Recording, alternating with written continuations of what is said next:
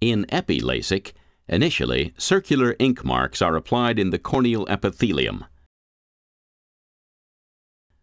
Chilled balanced salt solution is applied. The epi-LASIK keratome is centered and suction is applied. The surface is moistened again with chilled BSS.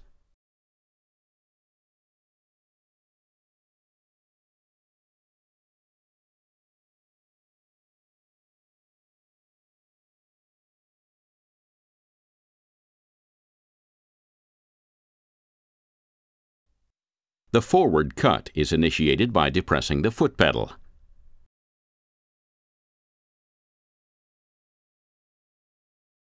When the keratome comes to a stop, the reverse mode is activated.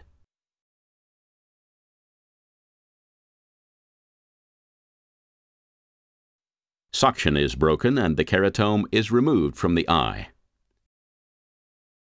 The temporally based epithelium flap is swept peripherally.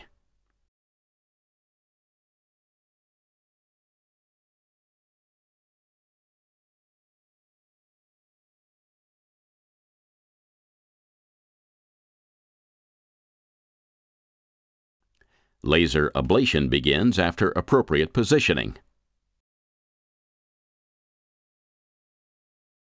A myopic ablation is observed.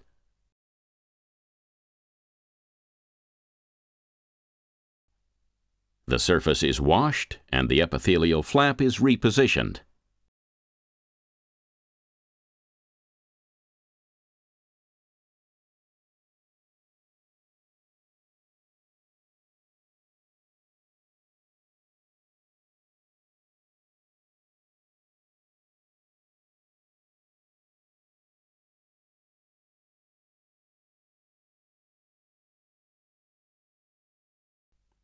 After irrigation with chilled BSS, a soft contact lens is placed.